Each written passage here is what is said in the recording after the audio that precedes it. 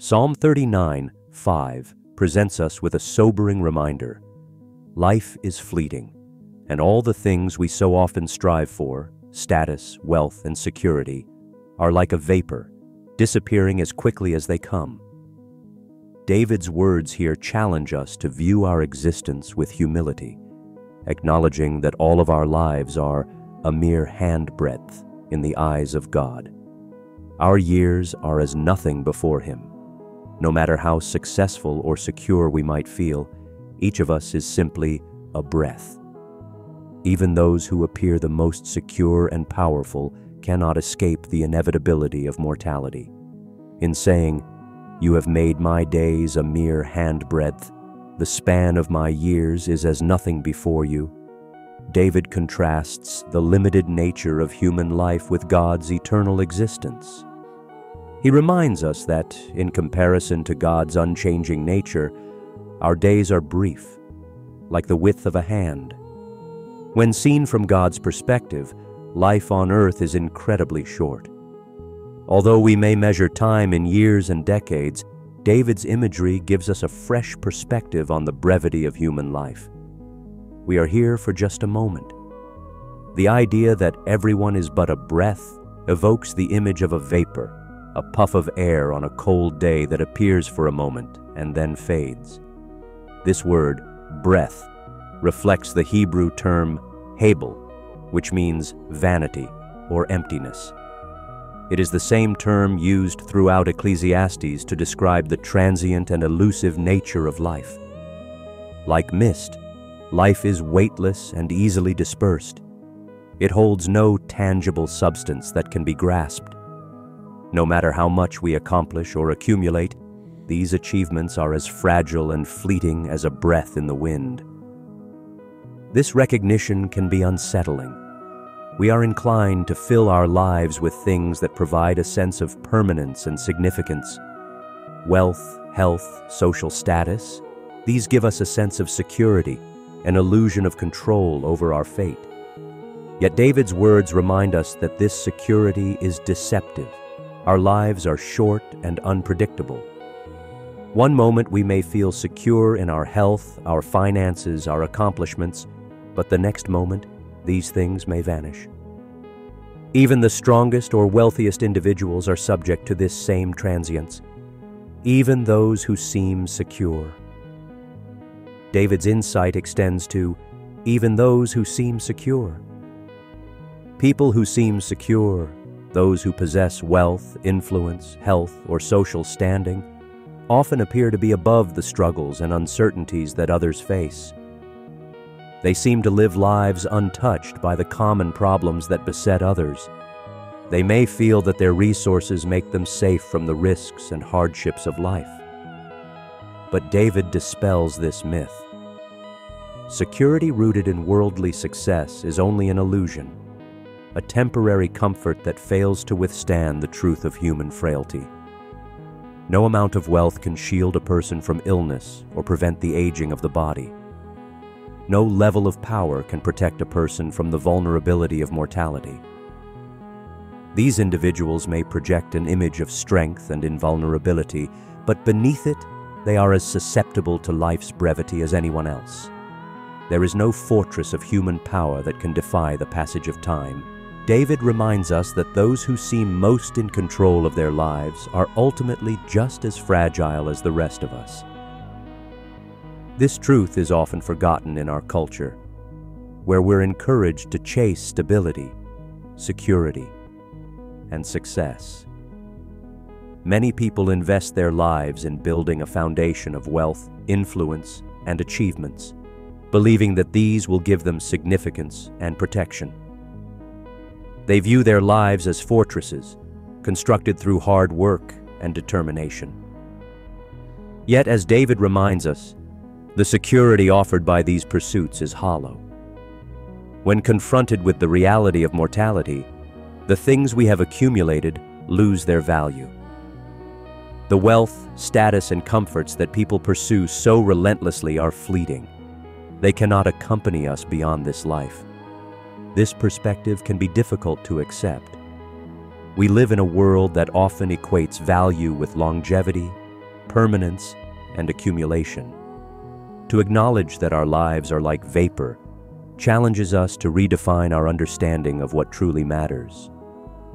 David's words confront us with a reality that may initially be uncomfortable, but they also offer a profound truth. Our lives are transient, and the things we often cherish are merely temporary. David's reflections lead us to an important realization. Since our earthly lives are short and insecure, it is unwise to put our hope in things that fade. Instead, we are encouraged to focus on what is eternal. If this life is but a vapor, then true significance lies not in what we acquire here, but in our relationship with God and our hope for the life to come. David's words urge us to shift our perspective away from earthly pursuits and toward a heavenly mindset. The ultimate purpose and fulfillment of our lives are not found in the fleeting achievements of this world, but in our relationship with God and the promise of eternal life with Him. There is no true happiness in this world. Psalm 1611, New International Version. You make known to me the path of life. You will find me with joy in your presence, with eternal pleasures at your right hand. A woman got married to the love of her life, and she was very happy. Everyone could see the happiness in her. She was finally getting married. This woman got so many gifts. Her and her husband had planned out where their honeymoon would be. After the wedding, they went on their honeymoon for a week. She was still very happy a kind of happiness that anyone would pray for. The second week of her wedding, her husband had an accident and he didn't survive it. He died. Just two weeks of marriage and her happiness was gone. The woman couldn't believe it. The happiness turned into sorrow. That is what life brings to people. Today you are happy, tomorrow you are crying. No one wants to cry, but this life is just that way. I remember reading a story of a man who bought a car for his son. The boy was very happy and couldn't thank his dad enough for the car. On the third day, he had an accident with the car and he passed on. This man blamed himself for what happened and couldn't get over the situation. He was once happy and now he is filled with sorrow, regrets, and pains. That is what life brings, and that is what people are dying to have. Happiness today, tears tomorrow.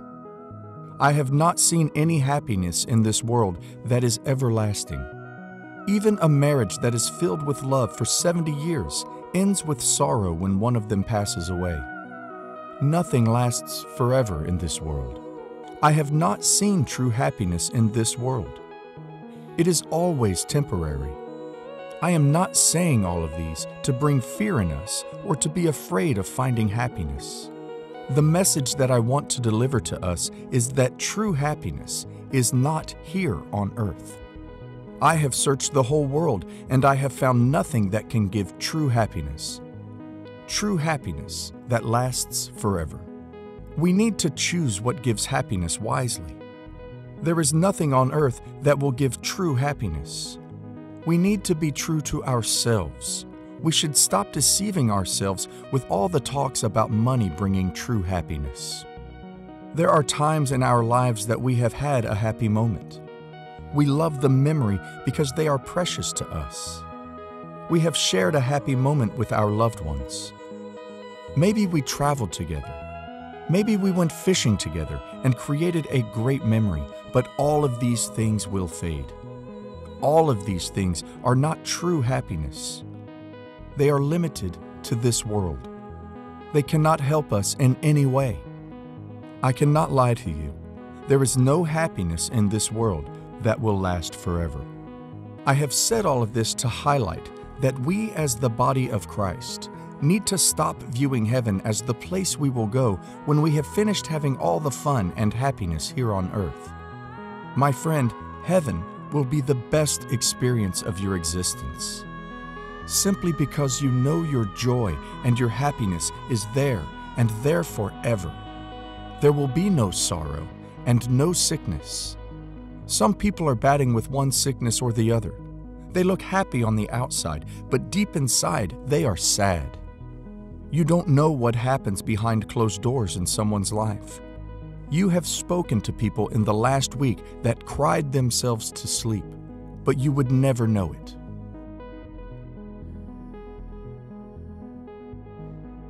I just want to point out the truth to you.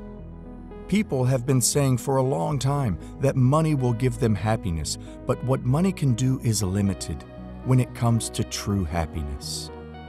David must have looked everywhere and couldn't get the true happiness. He must have looked everywhere, and he saw that there was no joy anywhere, and he concluded that joy is in the presence of God. The true happiness is in the presence of God, and there is no place you can get something like that.